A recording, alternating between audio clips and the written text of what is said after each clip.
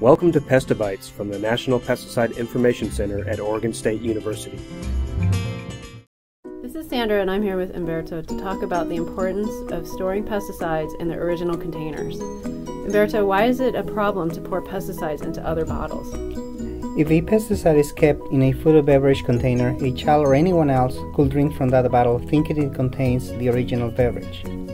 Children are often poisoned when they get into pesticides, especially when a pesticide is not stored in its original container and left within the child's reach.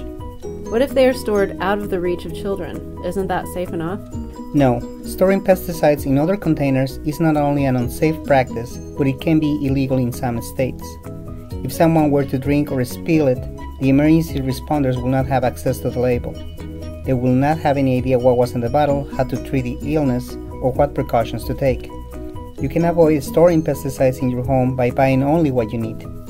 What about reusing pesticide containers? Reusing a pesticide container, even to store another pesticide, can also be dangerous. Some containers may have pesticide residues in them even if rinsed or washed first. These residues may react with other substances. Never reuse any pesticide container yourself. They must be treated as an actual pesticide. Follow the cleanup and disposal instructions on the label. Thanks, Umberto. You're welcome. Pestabytes are brought to you by the National Pesticide Information Center, a cooperative agreement between Oregon State University and the Environmental Protection Agency.